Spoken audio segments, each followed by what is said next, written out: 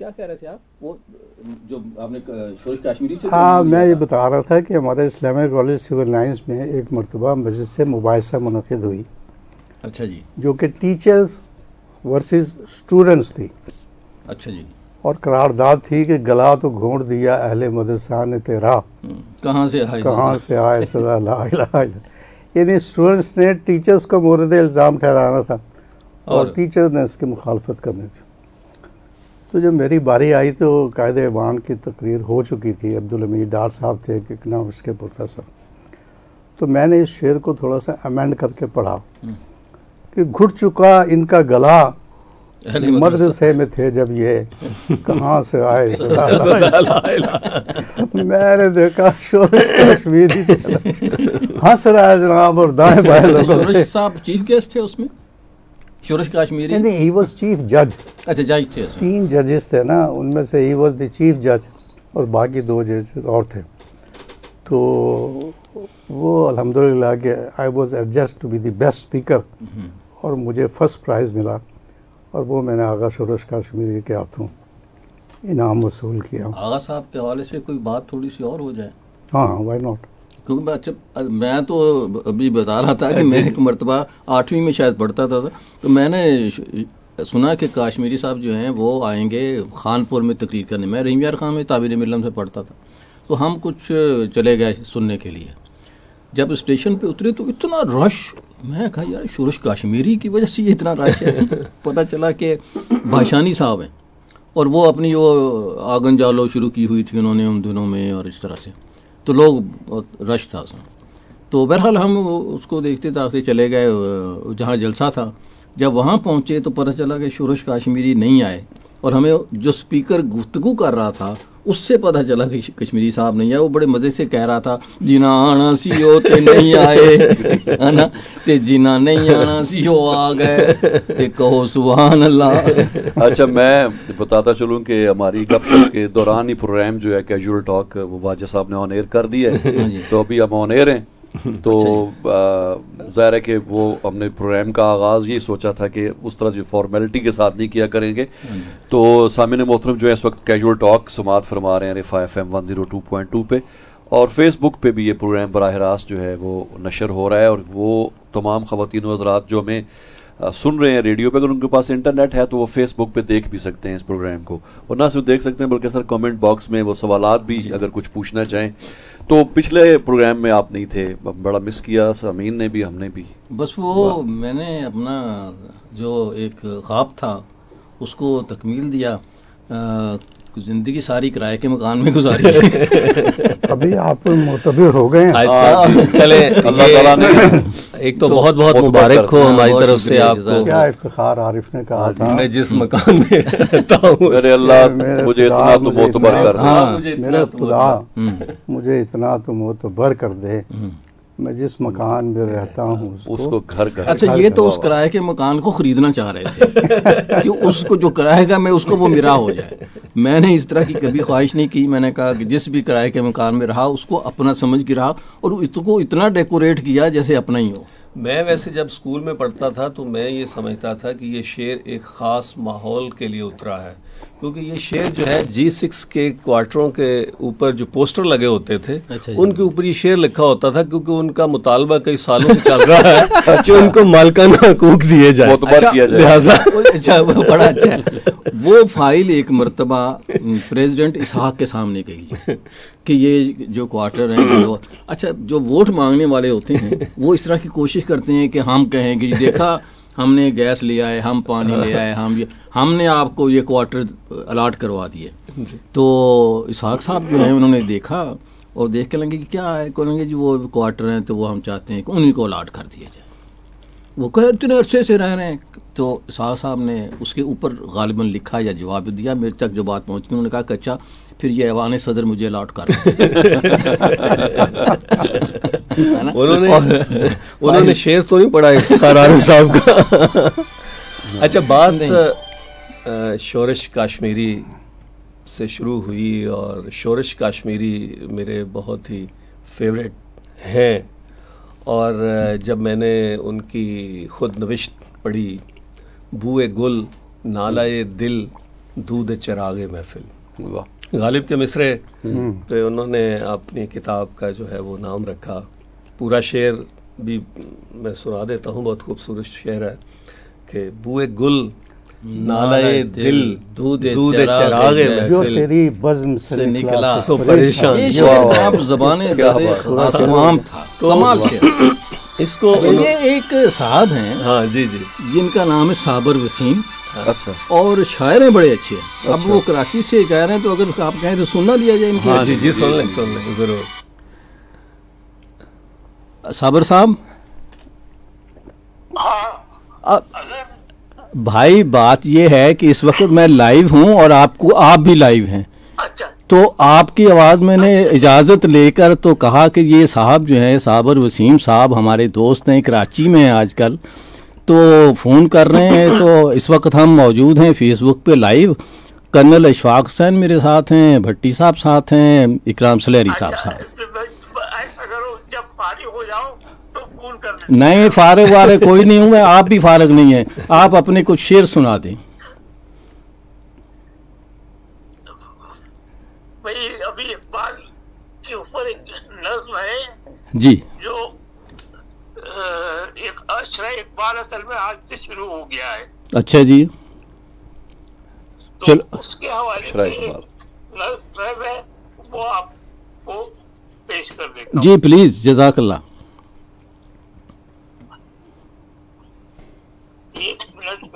हाँ अच्छा है वसीम साहब दरिया इनकी किताब का है बहुत आला। हैदराबाद में हमारे दोस्त थे ये। और आजकल भी मैं अपनी शायरी इनको भेज देता हूँ कि यार वज़न देख देना। दरिया वो शा- शायरी पे है किताब उनकी? शायरी शायरी ही करते थे। अच्छा, अच्छा। हाँ जी। और अ, हमारे साथ ये हैदराबाद में रहते थे लतीफ़ाबाद में। इनकी वाइफ जो थी शहनाज बहुत ही खूबसूरत आवाज़ थी रेडियो पाकिस्तान की इंतकाल हो गया उनका।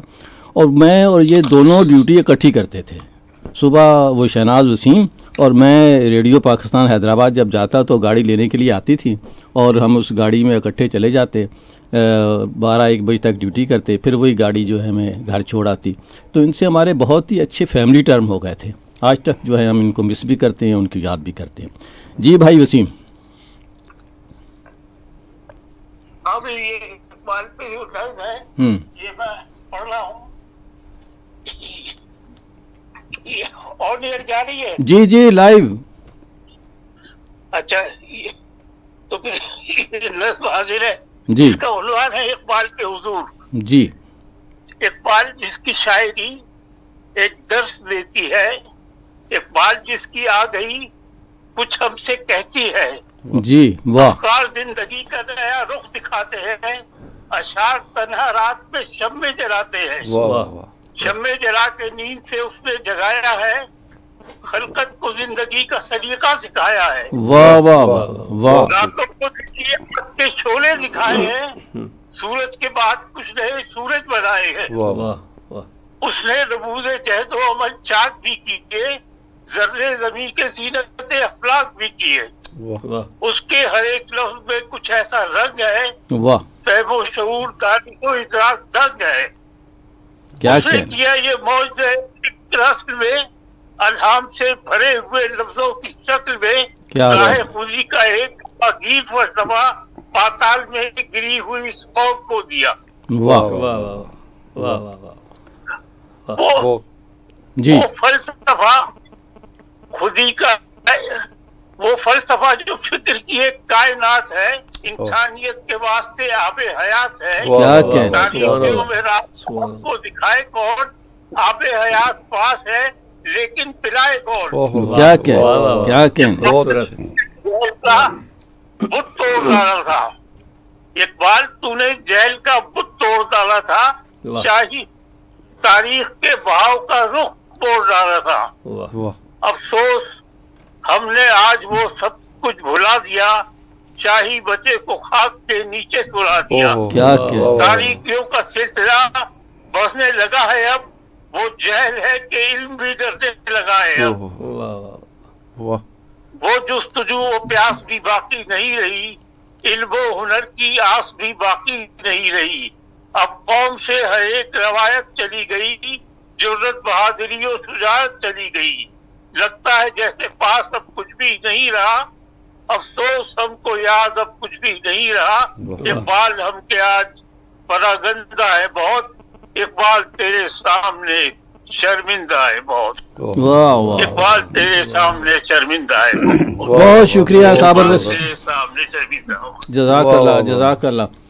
बहुत शुक्रिया बहुत खूबसूरत नज़म थी और अ, मैं तो जो इन्होंने शुरू में ज़िक्र किया कि अशरा इकबाल जो है शुरू हुआ है आज से हाँ, हाँ। तो मेरे ख्याल में इसको अशरा इकबाल के तौर पे ही ऑब्ज़र्व किया जाना चाहिए और हम कोशिश करेंगे अपने रेडियो पे भी इकबाल के हवाले से और मेरा ख्याल है कि अगर हम अगले प्रोग्राम पे बाकायदा इकबाल ही की बात करें हम्म। और अगरचे ये कैजुअल टॉक है लेकिन इसके बावजूद मेरा ख्याल है कि इकबाल का हक बनता है कि उस पर इतनी बात की जाए कि और इससे पहले हम बात शोरश की कर रहे थे और मेरा ख्याल है कि हम शोरश और इकबाल और ये सारे वो लोग हैं कि जिन्होंने लोगों को हुर्रियत का दर्स दिया है। मैं हुर्रियत का दर्स इसलिए कह रहा हूँ कि शोरश बजाते खुद जो है जवानी में बहुत ही बल्कि लड़कपन में आगाज़ हो गया था जेल जाने का। उनकी ज़िंदगी में जो उन्होंने अपनी किताब के अंदर लिखा। और फिर इतना ज़्यादा हो गया था कि जब भी उन्हें कभी गिरफ़्तार करना होता था तो वो कहते थे, एक ऑफिसर का पैगाम आता था कि वो आपसे मिलना चाहते हैं। तो वो इतना गैरत वाला था, वो कहता था कि ऐसे नहीं जाऊँगा। गिरफ़्तार करके ले जाओ। अपनी मर्ज़ी से नहीं जाऊँगा। सही है। तो गिरफ़्तार करके अच्छा, ले जाओ। इकबाल के हवाले से मैं बताता चलूँ कि हमारे जो चास्तर साहब हैं हसन मोहम्मद खान साहब उनकी खसूसी इंस्ट्रक्शंस थी कि पेट्रियटिज़म पे अब ज़्यादा से ज़्यादा प्रोग्राम रिफा एफ़ पे नशर किए जाएँ तो इकबालियात के नाम से सर हमने एक मुस्तकिल सिलसिला शुरू कर दिया है अच्छा। कि हर क्वार्टर में कोई ना कोई प्रोग्राम इकबाल के हवाले से ज़रूर रखेंगे। हमारे पास अपनी रिकॉर्डिंग्स भी हैं वो भी हमने इसमें शुरू की हुई हैं। एक प्रोग्राम आपने भी प्रोड्यूस किया था वो पिछले क्वार्टर में ख़त्म हुआ है। अभी एक प्रोग्राम इकबाल है इकबाल हमारा थोड़ी देर पहले वो चल रहा था हमारे हाँ रेडियो ज़िक्र इकबाल काफ़ी अच्छा इकबाल। मसूद साहब के साथ। जी। जनाब कितने हो? वो असल में इकबाल का ज़िक्र हो रहा है तो सर भी जो ना गुम हो गए लगता है इकबाल में हाँ हाँ अब चूँकि तय हो गया है कि अगली दफ़ा इंशाल्लाह ताला तो फिर हाँ इकबाल पे करेंगे। इकबाल पे बात करेंगे बात करेंगे सर के साथ भी इकबाल के हवाले से हाँ, प्रोग्राम हाँ। आपने किए हुए हैं बिल्कुल एक मुशीर काजमी की एक। नज्म याद आ गई इकबाल का ज़िक्र चल पड़ा है तो हमारा ही तो बात जिस तरफ़ को चल पड़े हम भी चल पड़ते हैं जी हवा हो हैं? जिधर की हाँ। हमने तो दिल को छोड़ दिया उसके हाल पर? अब सुए शहर चले के सहरा का रुख करे। वाह। हमने तो दिल को छोड़ दिया उसके हाल पर। वो नज्म है कब्र इकबाल पर। हम्म, अच्छा। और बड़ी दर्दनाक भी है और फूल लेकर गया। अच्छा। आया रोता हुआ। बात ऐसी है कहने का यारा नहीं। फूल लेकर गया आया रोता हुआ। बात ऐसी है कहने का यारा नहीं। कब्र इकबाल से आ रही थी सदा ये चमन मुझको आधा गवारा नहीं।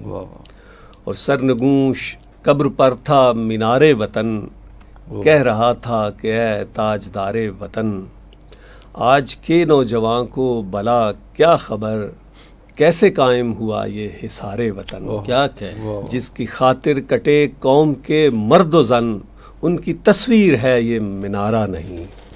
फूल लेकर गया आया रोता हुआ। बात ऐसी है कहने का यारा नहीं। फिर कहते हैं कि था मैं शाहीन एक जहन इकबाल का। हम्म। क्या फसाना कहूँ माजियो हाल का। था मैं शाहीन एक जहन इकबाल का। शर्क से गर्ब तक मेरी परवाज थी। था मैं शाहीन एक जहन इकबाल का। आ, एक बाजू पे उड़ता हूँ मैं आजकल दूसरा दुश्मनों को गवारा नहीं। और वो जो तस्वीर मुझको दिखाई गई मेरे खूने जिगर से बनाई गई कौम की माओ बहनों की जो आबरू नक्शाए एशिया में सजाई गई मोड़ दो आबरू या वो तस्वीर दो हमको हिस्सों में बटना गवारा नहीं। कुछ अशार जहन से इधर उधर हो गए वो फिर इंशाल्लाह हम जो नेक्स्ट उसमें जी हाँ। इंशाल्लाह। आज कुछ पलंदा आपके हाथ में था क्या? हाँ, वो पिछली दफ़ा ऐसा हुआ कि बीमारियों का बड़ा ज़िक्र हो रहा था। आज पिछले प्रोग्राम में अच्छा। का बड़ा ज़िक्र हो रहा था। हालाँकि मैं नहीं था मौजूद। अच्छा बीमारी के हवाले से याद आया कि अजहर न्याज साहब को इसी स्टूडियो में एक दफ़ा दिल का दौरा पड़ा। हाँ अच्छा। और ये शाम तक जो है ये लेटे रहे इधर ही। उधर हॉस्पिटल में अच्छा शुरू में हम समझे कि स्टमक इशू है हाँ, क्योंकि हाँ, जो सिम्टम्स इस तरह के थे। तो शाम तक जो है ना ये उधर रावल इंस्टीट्यूट ऑफ़ कार्डियोलॉजी में एडमिट हो गए। हम्म, मैं इनसे मिलने के लिए गया। तो इन्होंने बताया कि जो उन्होंने मुझे एक हफ़्ते बाद की डेट दी है ओपन हार्ट सर्जरी होगी। हम्म, तो मैंने इनको एक दवा बताई मैं सर ये आप कल भी लेना शुरू करें। अल्हम्दुलिल्लाह कि इन्होंने कल भी लेना शुरू की। और चार हफ्तों में इनकी आर्टरी सारी खुल गई। इनका कल्ब जो है वो ठीक हो गया। इनका कल्ब जो है ना वो ठीक हो गया और वो डॉक्टर बड़े हैरान हुए। और वो ये समझे कि हमारी दवाओं से हुआ है। हाँ जी हालाँकि वो दवाओं से हुआ था। हाँ। तो वो अल्हम्दुलिल्लाह के वो जो कुछ दवाएँ ऐसी हैं जो कि बड़ी मुफीद साबित होती हैं। तो वो बीमारियों के हवाले से पिछली दफ़ा बात हो रही थी तो वो मैंने कैजुअली देख रहा था कुछ अनवर मंसूर की शायरी। जी। तो उसमें से दो नज़में मुझे मिली जो कि इसी बारे में साइड इफ़ेक्ट तो नहीं है कोई? साइड इफ़ेक्ट साइड इफ़ेक्ट बड़े मज़े के। दवा उस, उसका उन्वान है दवाओं के जैली असरात। जेली असरात। वो, वो डॉक्टर एक दवा देता है वो कहता है कि सर दर्द में गोली ये बड़ी जूद असर है। वाह। पर थोड़ा सा नुकसान भी हो सकता है इससे। हो सकती है पैदा कोई तबखीर की सूरत। हाँ, दिल तंग व परेशान भी हो, हो सकता, सकता है इससे। हो सकती है कुछ शिकल समाज की शिक- शिकल है या शकल है? सिकले शिकल है। हो सकती है कुछ शिकल समात की शिकायत। बेकार कोई कान भी हो। सकता है इससे। मुमकिन है खराबी कोई हो जाए जिगर में। हाँ आपको यरकान भी हो सकता है इससे। पड़ सकती है कुछ जिल्द खराशी की ज़रूरत। हाँ, खारिश का कुछ इम्कान भी हो सकता है इससे। हो सकता है लाहक कोई पेचीदा मर्ज भी। हाँ, गुर्दा कोई वीरान भी हो सकता है इससे। हो सकती है यादें भी जरा इससे मुतासर। हो सकती है यादें भी इससे मुतासर। मामूली सा निसियान निसियान भी हो सकता है इससे। इससे। और मुमकिन है कि हो जाए नशा इससे ज़्यादा हम्म।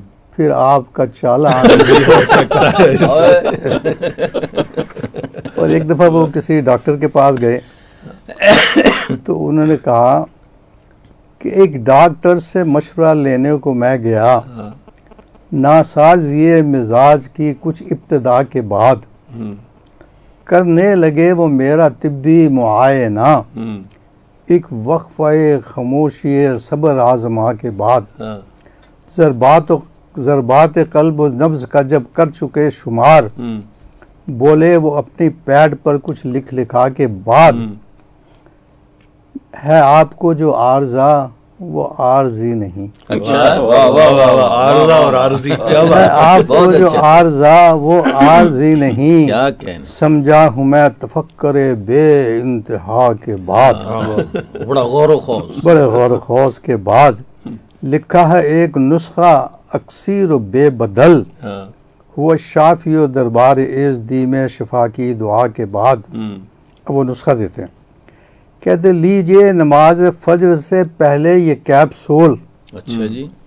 लीजिए नमाज़ फजर से पहले ये कैप्सूल खाएँ ये गोलियाँ भी नमाज़ इशा के बाद। अच्छा जी।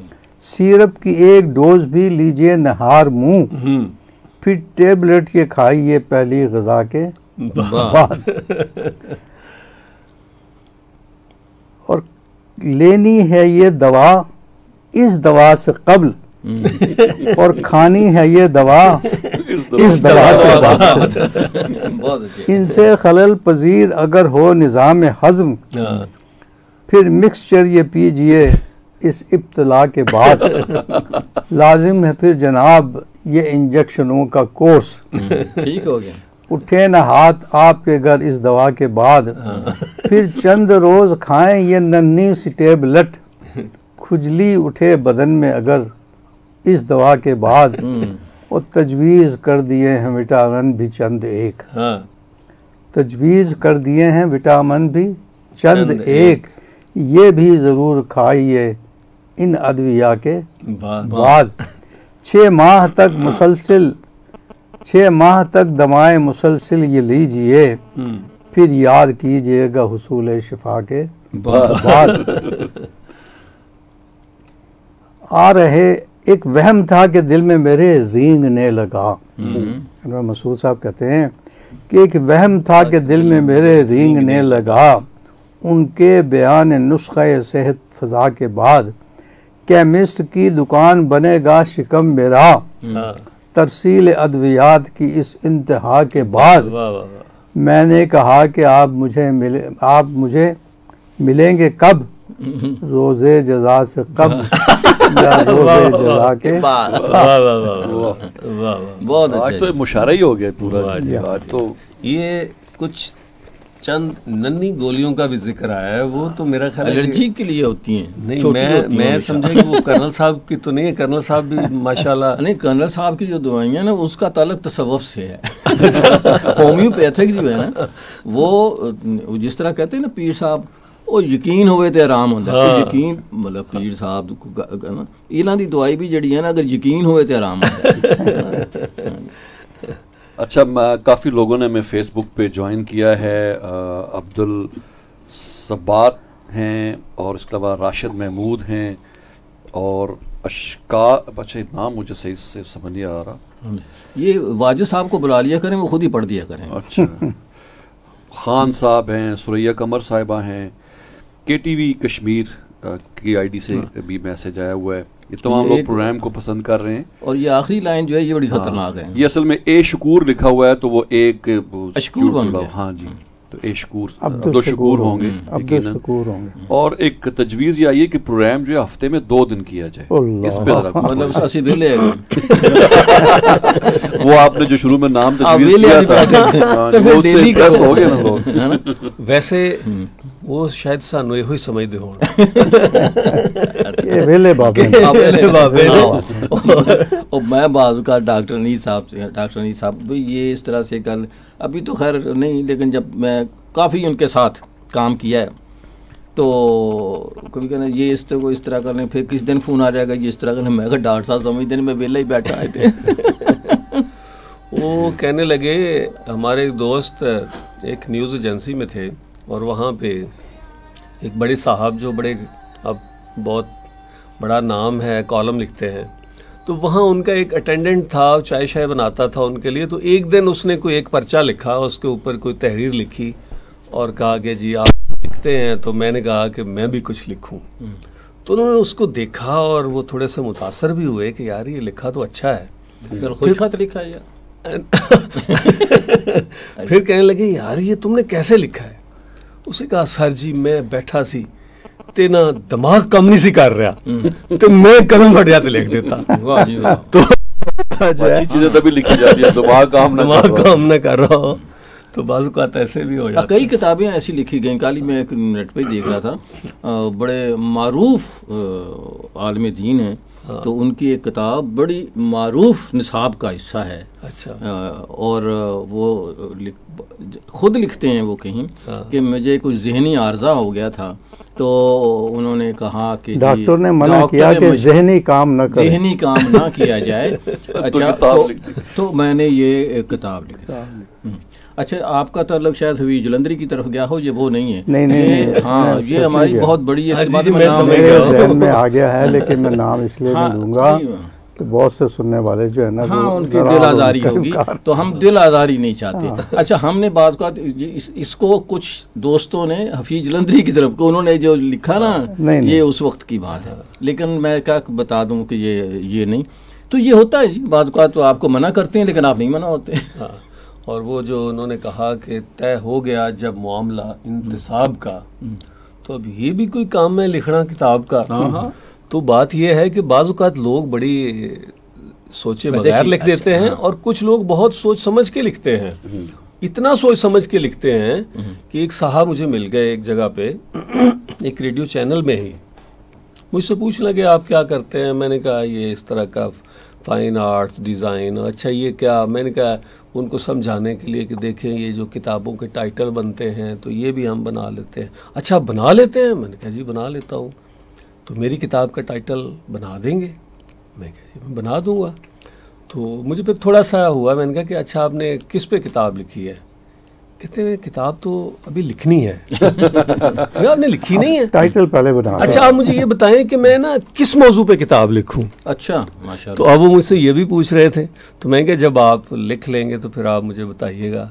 तो ऐसे भी लोग होते हैं जो इतनी प्लानिंग जो है ना वो हाँ, पहले हाँ, पतरस का मजमून है जिसमें वो गाड़ी खरीदने के लिए वो मिर्ज़ा साहब के साथ जो गपशप हाँ, है उनकी। हाँ। तो वो बड़ा पहले गाड़ी की यार की बड़ी ज़रूरत है टाइम हाँ। भी बच जाया करेगा और फासला भी इतना चले जाए। वो खूब तो मिर्ज़ा साहब एक सवाल करते हैं एंड में काफ़ी इनकी लंबी चौड़ी तमीद के बाद। मिर्ज़ा साहब पूछते हैं कि मतलब गाड़ी खरीदने के लिए पैसे हैं आपके पास? तो कहते हैं यार इस नुकते पे तो मैंने ही नहीं अपनी है मरहुमा की याद में। हाँ। मरहुमा की याद मरहूम की याद में। मरहुमा।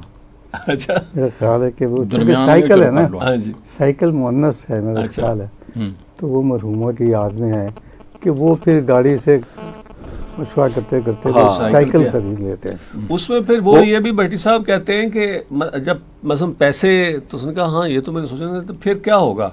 उसका मसम मैं अपनी कुछ कीमती चीज़ें बेच लूँगा। मसलन। तो उनका मसलन उनका ये सिगरेट केस जो है कहते हैं अच्छा ये बीस रुपए का तीस रुपए का ये हो गया। अच्छा ये फलां चीज़ अच्छा दस रुपए उसके मिला के। अच्छा ये टोटल डेढ़ सौ रुपये बनते हैं। डेढ़ सौ की चीज़ है आएगी। तो उन्होंने कहा कि एक ही चीज़ फिर आ सकती है और वो है साइकिल तो वो जो है ना फिर अगले दिन जब वो कहते हैं कि जी अगले दिन जब आए तो वो एक अजीब व गरीब वो साइकिल भी गालबन मिर्ज़ा साहब ने उनको साहब ने। हाँ। एक मरतबा यूनिवर्सिटी के ज़माने की बात है रेडियो पाकिस्तान कराची में बैठा हुआ था। जी। वंस अपॉन ए टाइम हाँ जी आतिश जवान था। एक बहुत मरूफ शायर जो हैं वो किताब लेकर आए बांट रहे थे तो उन्होंने दी किताब मैंने कहा ज़रा दिखाइएगा। तो बड़े जो है वहाँ शायर अदीब बैठे थे उनको वो किताब दे रहे थे।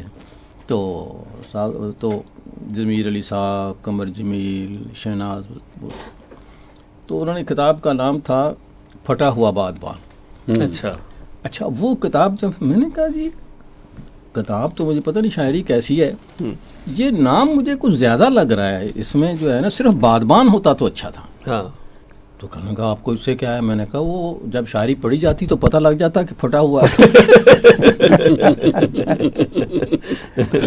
अच्छा उसमें वो तो साहब बहुत ही खामोश है कि यार लेकिन वो ज़माना था सारे बदतमीज़ होते थे। आजकल भी नौजवान बदतमीज़ हैं। हम खाम खा कहते हैं जी नौजवान बदतमीज़ हैं। हालाँकि ये मसला हमेशा हमेशा से है। वो तो हज़रत आदम के बेटों से ही शुरू हो गया था काम। किताब के छपने से याद आया कि कहते हैं कि आजकल जो किताब छपती है ये आजकल से कुछ साल पहले की बात है क्योंकि अब मज़ीद और हालात ख़राब हो गए हैं। तो वो कहते हैं कि अमूमन किताब अपने ख़र्चे पे छपवाई जाती है और फिर उसका दूसरा एडिशन भी छपवाया जाता है। ये कासमी साहब ने लिखा। और वो कहते हैं कि फिर उसके बाद इश्तहार दिया जाता है कि जो इसका ये वाला किताब खरीदेगा उसका पिछला एडिशन फ्री में मिलेगा। तो वो कहते हैं ना कि कुछ किताबें जो हैं वो लिखने के हवाले से उनके पीछे बड़ी स्टोरी है। ऐसे ही जैसे जब जनरल अयूब साहब की किताब आई तो वो कहते हैं कि अल्ताफ़ गौहर साहब ने लिखी थी। फ्रेंड्स नॉट मस्ट जी जी। अच्छा अब उसके बारे में कहते हैं कि बेचारे जो राइटर्स थे उनके लिए बड़ा मसला था। कि उसने एक ने साहब ने किताब छपवानी थी तो वो गए किसी पब्लिशर के पास तो उन्होंने कहा कि जी बात यह है कि अब तो सदर साहब की किताब पहले छपेगी तो फिर उसके बाद जो है ना कुछ फिर उसके बाद देखेंगे। फिर उसके बाद देखेंगे। तो वो बेचारा किसी और कहा कि जी मैं इसको कातिब के पास ले जाता हूँ वहाँ पे भी सदर साहब की किताब का काम चल रहा था। फिर वो मुख्तलिफ़ हवालों से वो मुख्तलिफ़ लोगों के पास गया आखिर में उसने कहा कि जी चलो मैं इसको किसी से खुद लिख के तो मैं इसको फ़ोटो कापी करवा लेता हूँ। फ़ोटो कापी उसने करवा ली। अब वो ज़ाहिर है फ़ोटो कापी कहाँ बिकनी थी कहाँ चलनी थी तो वो रेडी पे डाल के तो उसने कहा कि चलो मैं कबाड़ियों को दे आता हूँ। तो जब वो कबाड़िए के पास गया तो वहाँ भी। तो उसने कहा कि पहले सदर साहब की किताब निकलेगी फिर उसके बाद आपका जो है ना हम हिसाब किताब लगाएँगे। तो ऐसे ही हुआ, ये जनरल साहब की किताब, जो जनरल मुशर्रफ की किताब थी तो उस किताब को भी मैंने हफ़्ते बाद सदर में जो है फुटपाथ पे देखा। नहीं तो फुटपाथ पे तो मैंने गालिब की किताब देखी है, है तो मैं तो खुश होता हूँ लेकिन एक बड़ा मज़ेदार और मैं बड़ी सॉरी कोई भी ख्वाहिश करता था कि किस दिन जाऊँ तो मेरी किताब भी पढ़ी हो। तो, और पढ़ी थी एक दिन और मैं खुद ही खरीद के ले वैसे मैंने आपकी जो किताब है वो मैंने रेडी पे देखी थी। आप ही के मोहल्ले में वहाँ एक किताबों का स्टॉल लगता है। हाँ उसके ऊपर लिखा होता है कि अगर मैं ये रेडी पे मौजूद हूँ तो इस नंबर पे रब्ता बिल्कुल अच्छा वो कहीं इधर उधर बैठ जाता है जाके साय में किताब वो अरे मैंने एक प्रोग्राम किया था असरार कायनात के नाम से। जी। अच्छा उसके लिए मैंने काफ़ी बुक्स कंसल्ट की थी। आ, उसमें ज़्यादा ये बरमूदा ट्रायंगल और पैरामिड्स और इसके ऊपर थी काफ़ी वो काफ़ी किताबें मिल गई मुझे। तो मैंने जिस बुक स्टोर से ख़रीदी बाद में बाद में भी प्रोग्राम शुरू करने के बाद भी जाता रहा। तो मुझे कहता है यार वो प्रोग्राम जो आपने किया उस पर आप किताब उसको आप छपवाएँ वो सारी मैंने कहा उसमें मेरा ज़ाती तो कोई एक सेंटेंस भी नहीं होगा. मोहल्ले वो में दीजिएगा ना। हाँ तो कहते हैं बस यही तो होता है किताब और क्या होती है लोग उसमें? तो ऑफ़र भी की क्या छापे यहाँ यहाँ पे। हाय हाय हाय। किताबों के साथ जो ताल्लुक आपने पिछले प्रोग्राम में एक बुक पब्लिशर का ज़िक्र किया था एक साहब थे सुपर के अंदर एक बुक सिटी के नाम से एक बुक जी जी जी जी जी जी। हमारे बड़े अच्छे दोस्त बैक साइड पे। शेख साहब थे। शेख साहब। और वो इतने अच्छे आदमी थे कि हम उनके पास किताब लेने के लिए जाते और हम सारा यानी हम बहुत देर वहाँ यानी घंटों हम वहाँ गुजारते। हम्म। आधी आधी किताब भी पढ़ लेते। अच्छा कोई किताब अगर नहीं होती थी तो वो हमें मंगवा के भी देते थे। हम्म, और फिर हम पूछते शेख साहब फलां किताब है? तो वो हज़ारों किताबों में से वो निकाल के कि ये किताब है और फिर उसके बारे में वो बताते थे इसमें ये लिखा है ये यूँ है यूँ। तो एक दिन मैंने शेख साहब से कहा मैंने कहा शेख साहब मुझे बड़ी खुशी होती है कि आप किताब जो है वो खुद भी पढ़ते हैं। हम्म, तो कहने लगे कि ये मेरा शौक़ है।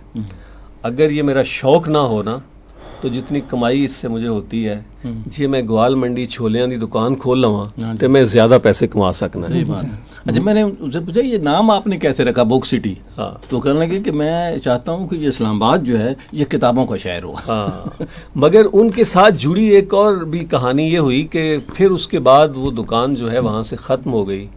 और शेख साहब पता नहीं कहाँ चले गए। हम शेख साहब को तलाश करते रहे। दोस्तों का ग्रुप था जो हम उनके पास जाते थे। और कोई चंद महीनों के बाद हमें पता चला कि शेख साहब ने सिक्स रोड पे माई बुक शॉप के नाम से एक दुकान वहाँ बना ली है।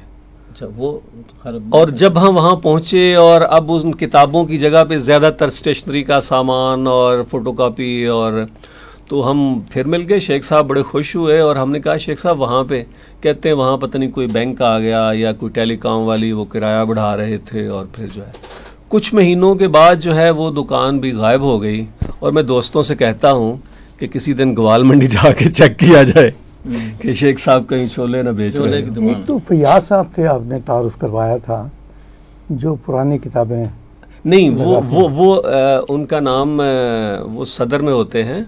देखिए अब मैं फैयाज उनका। अब मैं- फयाज नहीं है लेकिन वो भी ओल्ड वो ओल्ड बुक है। हाँ वो भी किताबों के बड़े शौकीन हैं। शौकीन बहुत हाँ बल्कि एक दफ़ा ऐसा हुआ कि मैं ना दुबई जा रहा था बेटे के पास। तो अदर न्याज साहब ने एक मेरे ज़िम्मे काम लगाया था जी। कि हम ना कुछ किताबों के ऊपर तबसरे शाया किया करेंगे। तो मैंने कोई दो चार किताबों के ऊपर जो है ना उनकी तलखीस मैंने तैयार कर ली हमने तो सोचा सौ किताबें हों हाँ, सौ और बेस्ट किताबें जी, है। उनका इंतखाब करके तो मुख्तलिफ़ लोग और तो किसी ने नहीं किया कि ब्रॉडकास्ट करें प्रोग्राम बनाएँ। जी जी। कर्नल साहब ने दो तीन किताबों पे ज़बरदस्त काम कर डाला वाह वाह। अच्छा वो करने के बाद ना एक किताब मेरे जहन में थी sword of Allah hmm, general I Akram की लिखी हुई। हम्म, तो मैं उस तलाश में था कि मुझे जल्दी से कहीं मिल जाए। तो मैं जा रहा हूँ वहाँ दुबई वहाँ फारिग ही बैठा हूँगा तो मैं किताब तैयार कर लूँगा। तो मैं गाड़ी पे वहाँ से गुजरा सदर से छुट्टी हाँ, का दिन था हाँ। और वो अपनी किताबें बाज़ार फरीद साहब। फरीद साहब फरीद साहब। फरीद साहब। उनसे मैंने गाड़ी रोकी मैं कहता सोर्ड ऑफ़ अल्लाह है? कहते हाँ है। मैं कह ले आओ। वो गया जल्दी से वो ला के किताब उन्होंने मुझे दे दी। मैं कितने की पता नहीं कहा दो सौ की या तीन सौ मैं क्या पढ़ो दो सौ और वो इस तरह से किताब लेके मैं चला गया दुबई। और दुबई में बैठ के मैंने उसका खुलासा लिखा इस तरह से मैंने काफ़ी सारी किताबों की तलखीज़ की। इस तरह से किताब है गॉन विद द विंड्स हाँ। वो बड़ी ज़बरदस्त किस्म का एक नावल है। देखो तीन चार घंटे की फ़िल्म बनी हुई है। हाँ उसके ऊपर फ़िल्म भी बनी हुई है। उसके ऊपर फ़िल्म भी बनी हुई है अजहर साहब इसराइल तो वो किताब की जो मुसनफ़ है ना कोई खातून थी मार्गरेट मिचल्स और उसकी बस वो एक ही किताब है हाँ जो। अब से सौ साल पहले लिखी गई थी। अच्छा। और अभी तक वो इतनी पॉपुलर है कि वो पढ़ी जाती है गॉन विद द विंड्स और उसकी मकबूलियत की एक बड़ी वजह ये भी है कि उसमें जो अमेरिका की सिविल वार है जी। वो बड़े खूबसूरत अंदाज में समोई गई है एक नावल की शक्ल में। अच्छा। वैसे अगर आप हिस्ट्री पढ़ें तो history is written in a very rapid way वो पढ़े नहीं जाते। जानबूझ के बोर बनाया जाता है हाँ। को। तो उसके अंदर एक बड़ा मशहूर कैरेक्टर है उसका एक उसमें जो लड़की है उसका नाम है स्कारलेट तो वो उससे शुरू होती है और उसके वो जैसे हमारे पढ़ाए जाते हैं ना मैथ कम्युनिकेशन में ड्रामे बनाने के लिए जो पढ़ाई जाती है। कि उसमें एक प्रोटैगनिस्ट होना चाहिए, एक एंटेगनिस्ट होना चाहिए। तो वो जो स्कारलेट है ना, वो बड़ी ज़बरदस्त किस्म की उसके अंदर प्रोटैगनिस्ट है। और उसके एंटेगनिस्ट जो हैं जो उसकी मुखालफत करते हैं, वो चेंज होते रहते हैं। तो वो तकरीबन एक हज़ार सफ़ों की किताब है। और उसका मैंने तलखीस जो है ना, वो कुछ चालीस सफ़ों की तैयार की। वाह।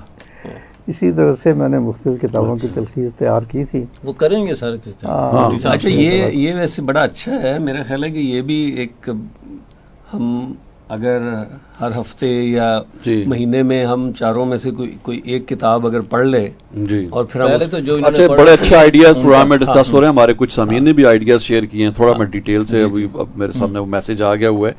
के टी वी कश्मीर का जो मैसेज था बेसिकली कि प्रोग्राम काफ़ी दिलचस्प होता है।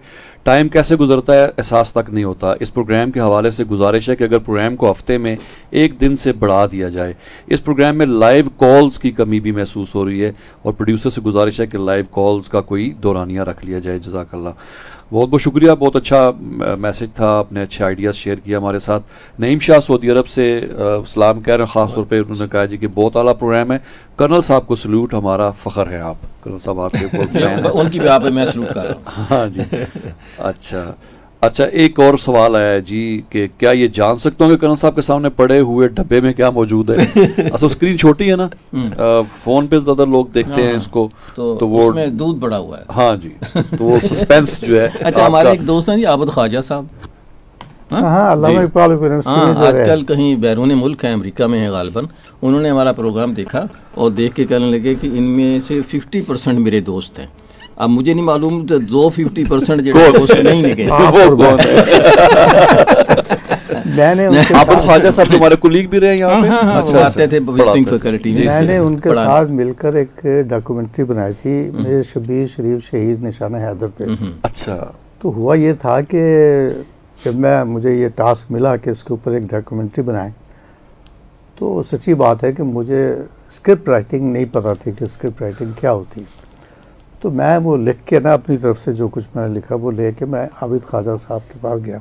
हम्म। बल्कि मैं गया तो अलामा इकबाल यूनिवर्सिटी में उनके हेड के पास था। उन्होंने मुझे आबिद ख्वाजा साहब के हवाले कर दिया।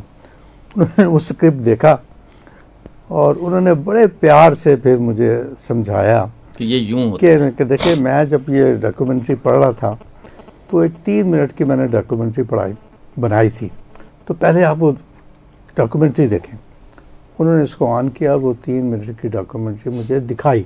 अच्छा। और फिर उन्होंने उसका मुझे स्क्रिप्ट दिया ये जो कुछ आपने देखा है ये लिखा ऐसे जाता है। हम्म। तो आप इसको ऐसे ही लिखें। हम्म, यदि कोई और होता तो वो मुझे डांट पे आता और कहता कि ये क्या बकवास लिख के ले आए हो। हाँ नहीं असल में ये आम तौर पे जो प्रोड्यूसर्स हैं मोस्टली जो सीनियर थे उनमें ये थी कि दूसरों को जाए जैसा भी है उसको दिखाया जाए किया जाए। एक मरतबा आवद ख्वाजा साहब ने मुझे बुलाया। कहने यार, आओ ना, लाओ। मैंने चला गया। कहने लगा, हम एक किताब लिख रहे हैं बीए के लिए, टेलीविज़न प्रोडक्शन पे। तो उसका जो प्रोडक्शन का यूनिट है, वो आपने लिखना एक टीम बनाई है हमने। नवीज जफ़र साहब हैं, सरवर मनीर राव साहब हैं, एक और कोई साहब हैं, एक तो और आपने जो प्रोडक्शन का हिस्सा होगा, वो आपने लिखना है। मैंने कहा मैंने तो बोल सकता हूँ टीवी प्रोडक्शन पे बात कर सकता हूँ और तो, लेकिन लिखना तो मेरे लिए मुश्किल काम कहने का बहुत ही आसान है।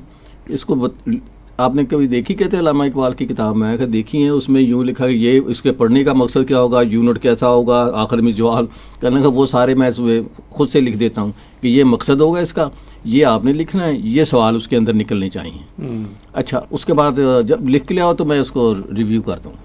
मैं जी वो लिख के ले गया। अच्छा वो टीम हर कोई अपने अपने तौर पे काम कर रही थी। इकट्ठी हमारी कभी मुलाकात नहीं हुई। नवीज जबर साहब ने उसका करंट अफेयर का यूनिट लिखा सरवर मिनी राव साहब ने उसका न्यूज़, न्यूज़ का। लिखा मैंने उसका टेलीविज़न प्रोडक्शन का लिखा। और सबको रिवाइज ख्वाजा साहब ने किया। उसके बाद वो किताब छपी। अभी भी जो अलामा इकबाल का बीए का निसाब है अगर कोई टीवी प्रोडक्शन रखना चाहता है हम्म। उसके अंदर वही टीवी ब्रॉडकास्टिंग के नाम से वो किताब है। और वो और बड़ा उन्होंने अच्छे तरीके से समझाया। अच्छा उसी किताब को लिखने के बाद मेरे जहन में आया कि जो कुछ मैंने एक यूनिट में लिखा वो तो असल में एक किताब का मवाद था। हाँ। तो तब मैंने वो किताब लिख डाली जिसे आजकल टेलीविज़न प्रोडक्शन हाँ। कहते हैं और एमए लेवल की किताब है वो। और मुख्तलिफ़ यूनिवर्सिटी वालों ने उसको एक्सेप्ट किया। कराची यूनिवर्सिटी ने भी कैद अज़म ने भी मारगला कॉलेज ने भी। और हमारे यहाँ भी थोड़े बहुत बच्चे जो हैं उससे इस्तेफादा करते रहते हैं रिफा में। साल about from idea to on air नहीं वो बहुत शानदार किताब है। वो आपने मुझे इनायत फरमाई थी तो मैं उसको वक्ता फ़क्ता पढ़ता रहता हूँ। अच्छा उस अच्छा हाँ। उस किताब पे तना साहब बड़ी एक दिलचस्प बात है। वो मैंने आगा नासर साहब को दी। पूरी जब वो छपने से पहले कि ये किताब है और उसका कंपोज्ड एडिशन था तो बना के तो आप इसको ज़रा से देख लें। उस रेडी टू प्रिंट तो और मैं चाहता हूँ इसका बैक पेज जो है वो आप लिख दें। तो उन्होंने जनाब रख ली। कुछ अरसे बाद उन्होंने मुझे बुलाया कि जी मैंने देख लिया आप आओ मैं चला गया। उन्होंने जी पूरी किताब पढ़ी थी। और अच्छा। कई जगह पे मार्क किया हुआ कुछ लिखा हुआ। कहने लगे इट्स फाइन दो तीन बातें हैं हम्म। जो अगर आप समझें तो उसको इस तरह कर लें। मैंने कहा जी फरमाए। कहेंगे यार एक तो इसमें फ़लसफ़ा बहुत है वो कम करो। मैंने कहा जी डन। मैं इसको रिवाइज करता हूँ जहाँ जहाँ फ़लसफ़ा निकाल देता हूँ। दूसरा ये है कि ये इंटरेस्टिंग बहुत है। ये मैं कुछ नहीं कर सकता। बोर्डम कैसे डालूं? हाँ कहते कहते अच्छा मुझे उन्होंने जुमला कहा। निसाब की किताब और इंटरेस्टिंग तो ये थोड़ा हाँ, उन्होंने ये कहा जो निसाब की किताब होती है वो बोर होती है। हाँ। मैंने कहा सर हो सकता है। मैंने दिल में कहा हो सकता है आपके ज़माने में बोर होती है आजकल बहुत खूबसूरत। The art of watching movies निसाब की किताब है। इतनी खूबसूरत किताब है कि मेरा दिल करता है कि मैं घंटों उसके ऊपर बात करता रहा उसको सामने रख के है ना? अच्छा इसी तरह से मैंने कहा जी वो अच्छा फिर मैंने कुछ ज़ाती मिसालें दे दी थी। नईम बुखारी का नाम लिख दिया तोसीक हैदर का नाम लिख दिया ज़िया मुजुद्दीन का नाम लिख दिया कि ये लोग हैं जिनसे आप सीख सकते हैं। अगर मैं वॉइस एक्टिंग पर बात कर रहा हूँ तो मैंने कहा यार पहले ज़िया मुजुद्दीन को सुन। वो कहते ये भी नहीं होता निसाब में। मैंने कहा जी ना होता होगा। है ना? तो मैं तो इसको रखना चाहता हूँ। उसके बाद उन्होंने कहा कि यार किताब तुम्हारी पढ़ के मेरे दिल में ख्वाहिश हुई है कि मैं भी एक किताब लिखूँ। मैं अंग्रेज़ी में लिखूँगा। मैंने कहा बिस्मिल्लाह। बेचारों से मोहलत नहीं मिली। आई नहीं, नहीं लिख सके। जो आई किताब है कोई पीटीवी की तारीख पे हाँ दिस इज़ पीटीवी हाँ। बहुत अच्छी किताब लिखी बहुत शानदार। वो उन्होंने मुझे अपने ग्राफ करके मुझे दी। और बहुत खूबसूरत छपी हुई किताब है। दिस इज़ पीटीवी मेरी नज़र से हाँ, गुजरी है वो मुझे इसलिए जो है अच्छा निसाब का ज़िक्र हो रहा है तो वो एक ऑडियो मैंने छोटी सी रखी थी। सोशल मीडिया पे कहीं देखी मैंने मैं शेयर करना चाह रहा था वो भी। वो हमारा जो ख़ास तौर पर तालीमी निज़ाम है वो कैसे डिज़ाइन हुआ हम लोग भी कहते हैं ना कि लॉर्ड मकाले ने हमें क्लर्क बनाने के लिए बेसिकली हम्म। वो बनाया था सारा सिलसिला उस पर एक बड़ी मज़े की ऑडियो इंग्लिश में मैं चाहूँगा कि सामीन भी सुने और हम लोग भी ज़रा सुने वाजह साहब अगर प्ले कर दें छोटी सी ऑडियो तो, हाँ। उस पर जी हम्म। Higher education system was designed to keep you working all your entire life so that a few people in the world could stay and remain rich. In Rockefeller's own words, I don't want a nation of thinkers, I want a nation of workers. That's who built our education system. The education system sets up children so that they become robots, so that they are able to memorize information and not be able to become problem solvers, not be able to think for themselves It was designed to make you conform to society's systems. It was designed to make you never question your authorities. It was designed to keep us all in uniform, which is why we wear uniform, so that we all don't become individuals and we all just become the same production of working bees. Sir इस syllabus के हवाले से पिछले दिनों मेरा लाहौर जाना हुआ किसी काम से तो वहाँ एक अफसर हैं लेफ्टिनेंट जनरल अरशद महमूद ये जब मेजर थे तो हमारे प्लेटून कमांडर थे पीएमए में ठीक।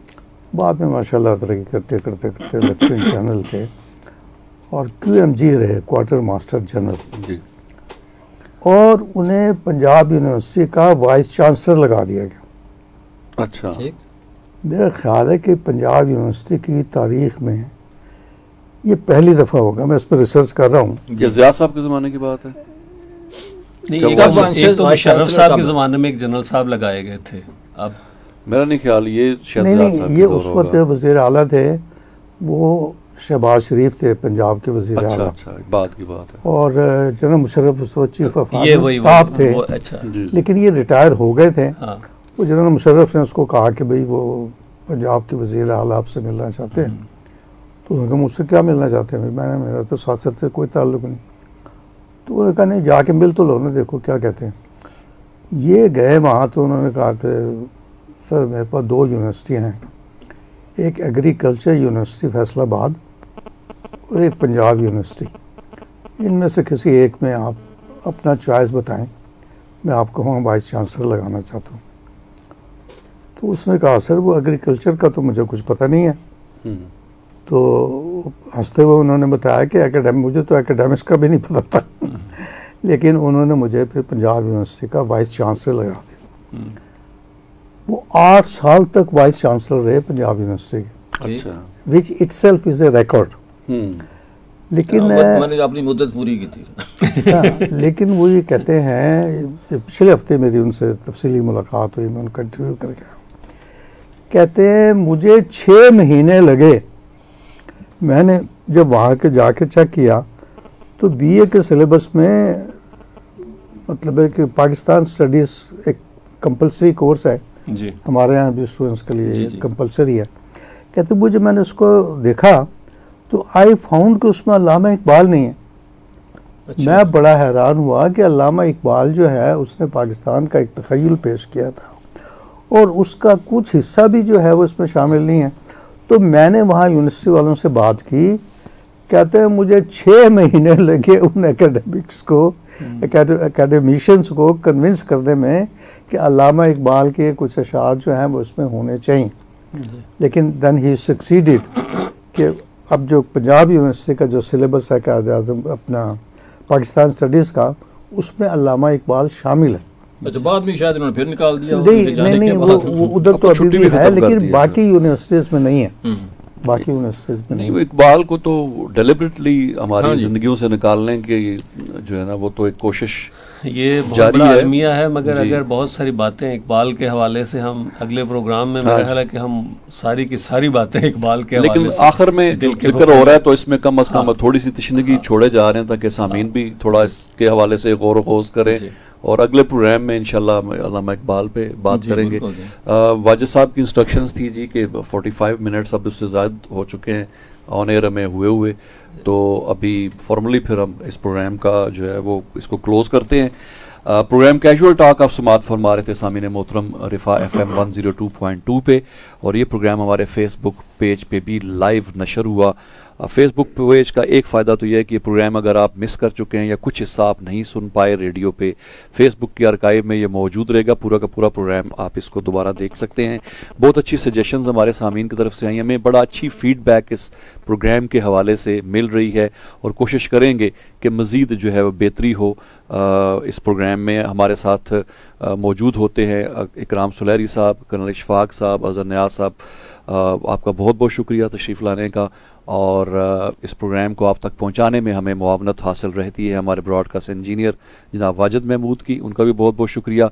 इरफान भट्टी को Riphah F M one zero two point two के स्टूडियो से इजाज़त दीजिए। अगले प्रोग्राम में दोबारा मुलाकात होगी। अल्लाह हाफिज़।